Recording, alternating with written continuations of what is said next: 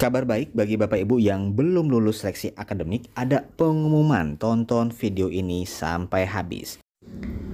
Resmi Bapak Ibu ya, dari Kemendikbud bahwa intinya bagi Bapak Ibu yang belum lulus seleksi akademik, maka Bapak Ibu wajib melakukan ini ya. Yang pertama, adanya sasaran yang baru calon peserta PBG dalam jabatan tahun 2023 yakni A. Guru dan kepala sekolah yang telah dinyatakan lulus seleksi administrasi tahun 2022 tetapi belum lulus seleksi akademik. Nah, jadi bagi Bapak Ibu yang tahun 2022 kemarin itu sudah lulus seleksi administrasi, lulus seleksi berkas, kemudian tes pretest atau tes seleksi akademik tapi tidak lulus. Nah, ini ada kesempatan nih untuk Bapak Ibu insya Allah akan mengulang lagi. Kemudian yang B, guru dan kepala sekolah yang belum termasuk pada poin A dan belum memiliki sertifikat pendidik ya.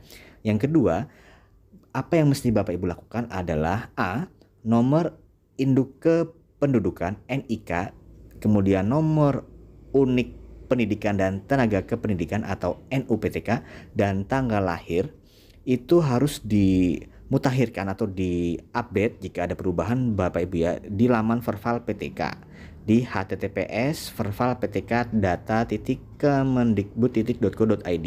Status validasi verbal PTK tersebut dapat dipantau melalui laman verbal PTK oleh operator atau aplikasi Dapodik oleh masing-masing guru.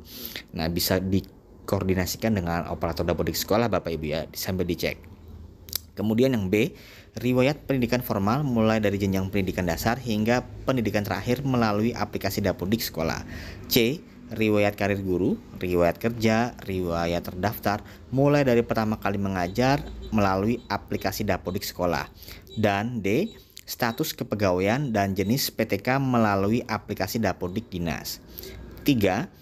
Adapun dimaksud pada poin 2D yaitu guru dan kepala sekolah dengan status kepegawaian PNS atau CPNS, P3K, honor daerah dan guru tetap yayasan.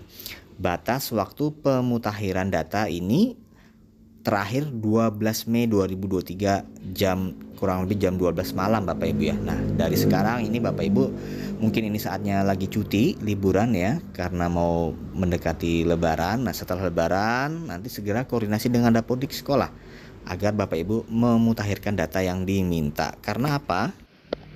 Karena kita tahu jadwal PPG dalam jabatan tahun 2023 untuk angkatan 1 ini sudah keluar. Untuk angkatan 1 ini mereka melaksanakan perkuliahan secara daring ini di poin 5 nomor 5 itu 9 Mei sampai 22 Juli 2023. Nah, biasanya ini uh, akan ada angkatan 2 ya kalau lebih lagi bisa angkatan 3 dan seterusnya. Nah, kemungkinan besar Bapak Ibu yang belum lulus uh, seleksi akademik tahun 2022 kemarin mungkin akan diberi kesempatan untuk mengikuti lagi. Dan bilanya nanti lulus siapa tahu bisa ikut PPG dalam jabatan tahun 2023 di angkatan selanjutnya.